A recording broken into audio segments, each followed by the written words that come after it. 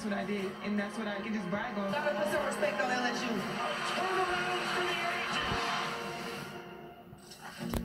After beating Caitlin Clark and the Iowa Hawkeyes on Sunday, the Tigers' win was their first title in the school's history for both the men's and women's program. Now, the team is headlined by Angel Reese, whose run this season was unlike any we've seen, not only breaking the single season Division One double doubles record, but also capped it all off by being named the most outstanding player in the tournament. We are so incredibly lucky to be joined now by the champ, the Bayou Barbie, unapologetically Angel Reese. So excited that you're here. I understand you're in the city. A lot has happened since that title game. As I mentioned, you're in New York. You've been making the rounds. You've been to Meta, TikTok. You've done a number of interviews. Uh, you're here today.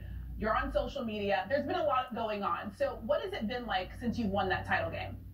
It's been fun. I haven't slept much, but it's been super fun. Going around the city and being in New York at this time, it's no better time than now. So I'm excited.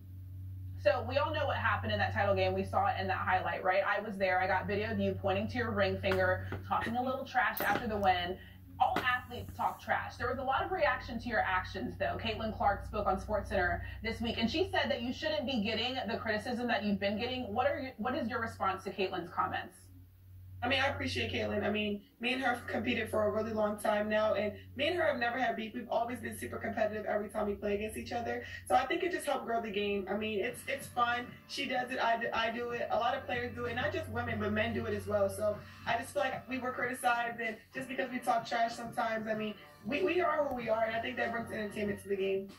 Uh, I like that you posted that you're not new to this at all. I saw that picture of you at Maryland with Caitlin Clark also. You were cheering. Yeah. Uh, so you're true to this. You've been doing this for a minute.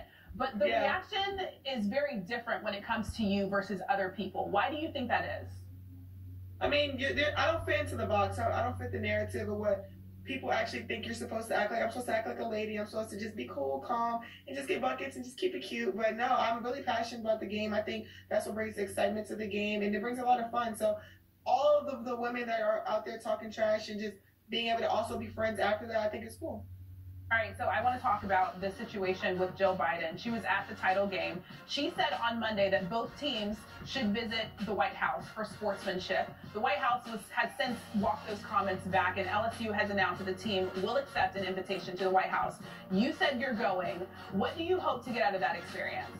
I think it'll be fun for the team, especially my teammates that have never been. I've been because I'm from the DMV area. I've been to the White House before, but I think it'll be a, fun experience for my teammates. Of course, I trust my coaches. I trust the president Tate at LSU, so they've got my back. I mean, through everything, we were really upset and kind of emotionally hurt about it because we worked really hard, and I don't think.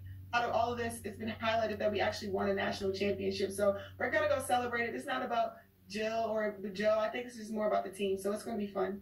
Okay, so I like that you and Flau'jae were saying after the win that the price just went up. I want to just give you some numbers. I know that you've already heard them. So the national championship game was the most viewed NCAA women's basketball game ever with 9.9 million viewers on ABC and ESPN. There was also a stat about you and how you got more Instagram followers in six hours than any men's Final Four player has gotten in his entire life.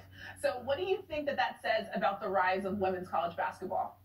Hey, it's lit. So many people have reached out to me, celebrities, rappers, NBA players, NFL players, WNBA. So just to see that they recognize it and respect women's basketball, that's just my goal. It's bigger than me, it's bigger than LSU. It's just to grow the game, and I'm excited. I get to have so many little girls that look up to me and say, I want to be Angel Reese, and that's the goal. I want to be able to be inspirational and just be someone that somebody can look up to. So I'm happy to be in this position.